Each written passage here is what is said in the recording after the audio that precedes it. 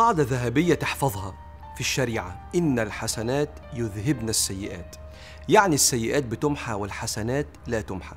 علشان ربنا سبحانه وتعالى يفتح باب الأمل لكل واحد أخطأ إنه يصحح مساره. لكن القاعدة دي ليها استثناء. في ذنب لو اتعمل بيمحو حسنة من أهم حسنات وأعمال المؤمن ألا وهي الصدقة. الذنب ده اسمه المن والأذى. اسمع الآية الأول. بسم الله الرحمن الرحيم. الذين ينفقون أموالهم في سبيل الله ثم لا يتبعون ما أنفقوا منا ولا أذى لهم أجرهم عند ربهم ولا خوف عليهم ولا هم يحزنون. وبعدين ربنا قال قول معروف ومغفرة خير من صدقة يتبعها أذى. والله غني حليم. يعني تقول للشخص اللي محتاج كلمة حلوة أحسن ما تتصدق عليه وبعدين تأذيه بالمن والأذى. وبعدين ربنا قال يا أيها الذين آمنوا لا تبطلوا صدقاتكم بالمن والأذى. فأثبت إن المن والأذى بيبطل الصدقة. المن إن أنا أفكرك إن أنا أعطيتك ففكرك بفضلي عليك. والأذى إن أنا أجرح مشاعرك بإن أنا أفكرك باحتياجك. أنت ناسي؟ ناسي نفسك؟ أنت كنت مين؟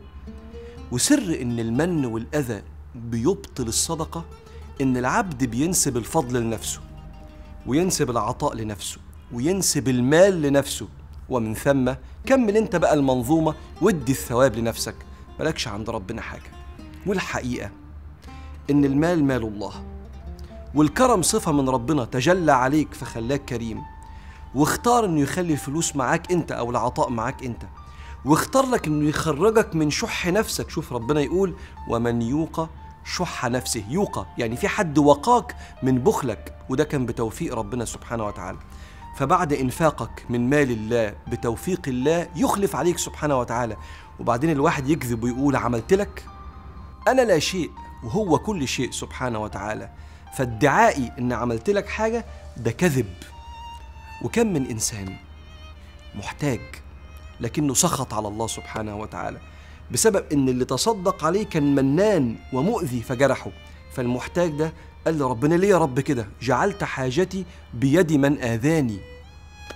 عشان كده سيدك النبي صلى الله عليه وسلم الرحيم الحنين حذر اللي يكسر خاطر الغلابة بالمن والأذى. قال صلى الله عليه وسلم ثلاثة لا يكلمهم الله يوم القيامة ولا ينظر إليهم ولا يزكيهم ولهم عذاب أليم. منهم المنان. اللي عمال يأذي الناس بالمن. والحقيقة إن يوم ما أي حد فينا تصدق أو أعطى أي عطاء ده كان واجب عليه. وده كان من شكره لنعمة ربنا سبحانه وتعالى. والحقيقة إن أي حد فينا بيتصدق أو بيعطي أي شيء بيعملها لنفسه لأن الملائكة كل يوم بتدعي بتقول اللهم أعطي كل منفق خلفا. فالملائكة بتدعي لك فأنت عملت ده لنفسك. عشان كده العلماء نصحونا نصيحة من الآية اللي ربنا بيقول فيها إنما نطعمكم لوجه الله. لا نريد منكم جزاء ولا شكورا. العلماء قالوا لنا لما تدي حد حاجة لا تسأله حتى الدعاء بعد العطاء. ما تعملش كده. بل ادعي انت لنفسك لأنك في مقام شريف بعد عمل صالح. خدوها من أنهي آية؟ خدوها من آية سيدنا موسى يوم ساعد البنتين المحتاجين للمساعدة فسقى لهما ثم تولى إلى الظل. فقال ربي إني لما أنزلت إلي من خير فقير فاستجاب ربنا دعوته. لأنه في مقام شريف بعد عمل صالح فأنا اللي أدعي لنفسي مش أسأل الشخص اللي اديته حاجة إنه يدعي لي لأن ده في مقابل العطاء فلا تسأله حتى الدعاء. يبقى علشان ما تبقاش عندك من ولا أذى رقم واحد. لا تذكر من أعطيته بعطائك. اعملها لوجه الله وانساها. رقم اتنين لا تطلب منه توقير واحترام زائد ده من خفي أنا اديتك يبقى احترمني ده من خفي. رقم ثلاثة احمد ربنا دايما بعد العطاء أن جعلك من أهل العطاء وأنه وسع عليك حتى لا تكسر قلب المحتاج وتفقد ثواب الصدقة بالمن والأذى. فاللهم بارك لنا يا مولانا فيما أعطيت واصرف عنا يا مولانا شر ما قضيت.